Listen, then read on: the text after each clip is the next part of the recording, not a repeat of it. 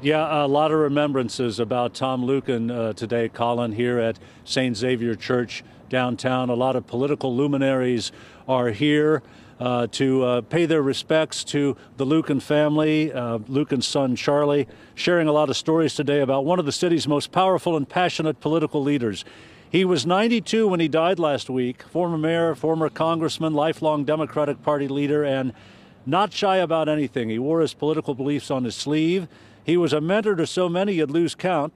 He marched at Selma, championed transportation for the poor, demonstrably opposed capital punishment long after he had left office.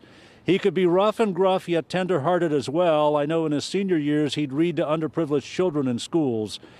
Tom Luken was an old time pol who worked the church festivals expertly and authentically, and he was in his element there he was always gearing up for something, you know. But he was that guy that said, you know, he, he everybody around, you know, who wants a beer? And, you know, 50 people would come over and everybody would be drinking beer on Tom Luken in Shabbat cups. And it's like, whoa, you know, but that was the beauty of Tom. I mean, he loved that. He loved that kind of thing.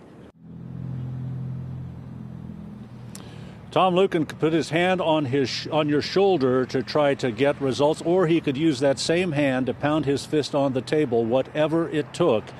Um, he was um, uh, legendary uh, in a sense, and and that's what a lot of political leaders who have gathered here today are talking about today. His funeral mass starts here at St. Xavier downtown at 12:30. Reporting live downtown, John London, WLWT News 5.